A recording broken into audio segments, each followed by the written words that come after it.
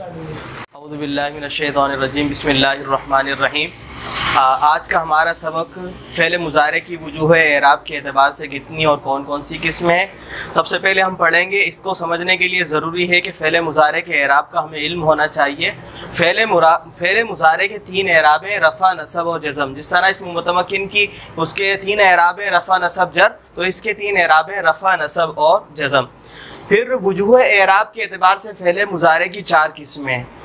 اس تو کس طرح سمجھا جائے گا؟ اس کو سمجھنے سے پہلے ضروری ہے کہ ہمیں پتہ ہو کہ علم نحو میں صحیح اور معطل کسے کہتے ہیں۔ جس طرح علم صرف میں صحیح اور معطل کی ایک اصطلاح ہے، اس طرح نحو میں ایک الگ اصطلاح ہے۔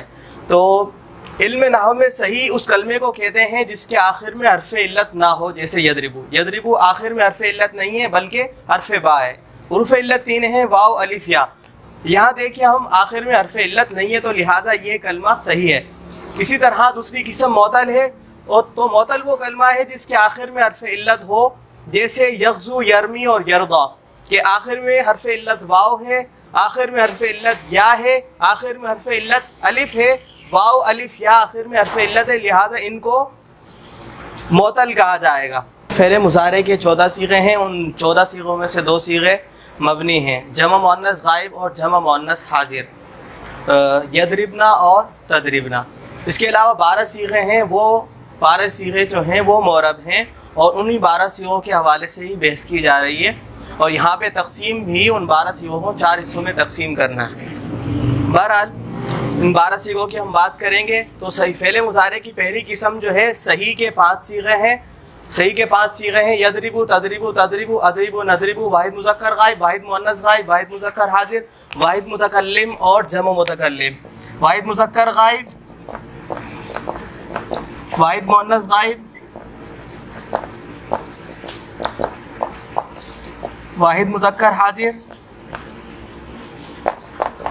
واحد متکلم اور جمع متکلم۔ صحیح کے پانچ سیغے واحد مذکر غائب، واحد مؤنث غائب، واحد مذکر حاضر، واحد متکلم اور جمع متکلم۔ صحیح کے پانچ سیغوں میں یدربو تدریبو تدریبو ادریبو اور ندریبو یہ ایک قسم ہے، یہ پہلی قسم ہے اور اس پہلی قسم کا اعراب ہے حالت رفع میں ضمہ کے ساتھ، حالت نصب میں فتحہ کے ساتھ اور حالت جزم میں سکون کے ساتھ۔ جیسے ہوا یدربو، لن یدربا اور لم یدرب۔ دوسری قسم ہے معطل واوی، معطل یائی کے پانچ سیوے معطل واوی کسے کہتے ہیں؟ آخر میں حرف علت یا ہو اور معطل یائی، معطل واوی کہتے ہیں آخر میں حرف علت واو ہو اور معطل یائی آخر میں حرف علت یا ہو۔ واو ہو جیسے یغزو اور یا ہو جیسے یرمی۔ تو یغ معطل واوی کے پانچ سیگے یغزو، تغزو تغزو، اغزو اور نغزو اور معطل یائی کے پانچ سیگے یرمی، ترمی ترمی ارمی اور نرمی۔ ان کا اعراب جو ہے ان دونوں کا۔ معطل واوی، معطل یائی کے ان پانچ سیگوں کے اعراب جو ہے حالت رفع میں ضم تقدیری کے ساتھ ہے، حالت نصب میں فتح لفظی کے ساتھ ہے اور حالت جزم میں حسف لام کے ساتھ ہے، جیسے ہوا یغزو، لن یغزوا لم یغزو۔ یہاں دیکھیں حالت رفع میں ضمہ تقدیری ہے۔ یہاں پر گو کہ یہ ساکن ہے، لیکن یہاں پر جو ہے ضمہ ہے اور ضمہ جو ہے مقدر ہے۔ ٹھیک ہے، اسی طرح حالت نصب میں ہے۔ لن یغزوا، حالت نصب میں فتح لفظی کے ساتھ ہے۔ تو یہاں پر فتح ہے۔ حالت نصب میں فتح لفظی کے ساتھ لن یغزوا۔ اور پھر حالت جزم میں ہے۔ حسف لام کے ساتھ، یہاں حرف علت آخر میں، لام کلمے کے مقابلے میں حرف علت واو ہے، تو حالت جزم میں آنے کے بعد جو ہے، لام کلمہ یعنی واو جو ہے، گر گیا۔ ٹھیک ہے۔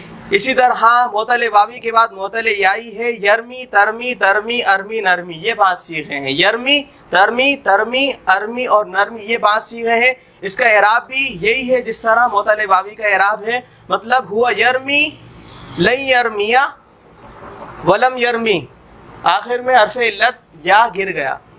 دو قسم ہو گئی، تیسری قسم ہے معطل الفی معطل الفی آخر میں حرف علت۔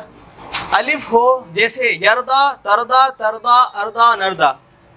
یردا، تردا تردا، اردا، نردا۔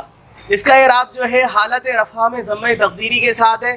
حالت نصب میں، فتح تقدیری۔ یعنی حالت نصب اور حالت حالت رفع اور حالت نصب۔ حالت رفع اور حالت نصب، ان دونوں صورتوں میں معطل الفی کا اعراب جو ہے وہ تقدیری ہے۔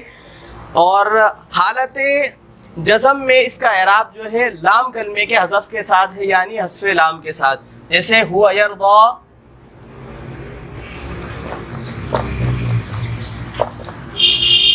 لن یرضا۔ لم یرضا۔ یہاں دیکھیں ان دونوں حالتوں میں حالت رفی میں اور حالت نظمی میں ان کا اعراب جو ہے تقدیری ہے، ٹھیک ہے؟ یہاں پر ضمہ تقدیری ہے اور یہاں پر فتح تقدیری ہے۔ جبکہ حالت جزم میں جو ہے آخر سے حرف علت یعنی جو یہاں کی آخر میں حرف علت الف تھا، وہ گر گیا۔ لم یرضا۔ ٹھیک ہے؟ یہ تین قسمیں دو قسم تین قسمیں ہو گئی ہیں۔ صحیح کے پانچ سیگے، معطل واوی معطل یائی کے پانچ سیگے، معطل الفی کے پانچ سیگے۔ ان پانچ سیگوں کے بارے میں ہم نے صحیح معطل واوی معطل یائی اور معطل الفی کو ہم نے بیان کر دیا۔ یہ تین قسمیں ہو چکی ہیں۔ پہلے مظاہرے کی چوتھی قسم، صحیح معطل واوی معطل الفی ان تمام کے پانچ سیغے صحیح معطل واوی معطل یائی، معطل الفی ان تمام کے سات سیغے ہیں۔ سات سیغے جو جن کے آخر میں انہوں نے اعرابی آتا ہے، وہ سات سی گئی ہیں، چار تسنیہ کے دو جمع مذکر غائب و حاضر کے اور ایک واحد مونس حاضر کا۔ چار تسنیہ کے، جمع مذکر غائب کا، جمع مذکر حاضر کا اور ایک واحد مونس حاضر کا۔ تو اس کا اعراب جو ہے، حالت رفع میں اس بات نون کے ساتھ اور حالت نصب و جزم میں حسف نون کے ساتھ۔ یہ حالت رفع میں ہما یدربانی ویغزوانی ویرمیانی ویردیانی صحیح کے ساتھ ساتھ یہاں معطل واوی بھی آیا معطل یائی آیا اور معطل الفی آیا۔ تو تمام کے تمام یہ اس میں آ گئے ساتھ سیغے ہما یدربانی یہ صحیح کا ہے، یہ معطل واوی کا ہے معطل یائی کا ہے اور یہ معطل الفی کا ہے۔ ہما یدربانی ویغزوانی ویرمیانی ویردیانی اور جمع کے جمع مذکر غائب و حاضر۔ جمع مذکر ہم یدربونا ویغزونا ویرمونا ویردونا یہاں بھی صحیح معطل واوی، معطل یائی اور معطل الفی۔ اسی طرح واحد مونس حاضر کا انت تدربینا و تغزینا و و اب آخر میں میں فعل مظاہرے کے اعراب کا خلاصہ بیان کر رہا ہوں۔ صحیح کے پانچ سیغے، صحیح کے سات سیغے اور صحیح کے دو سیغے۔ پانچ اور سات، بارہ اور دو، چودہ۔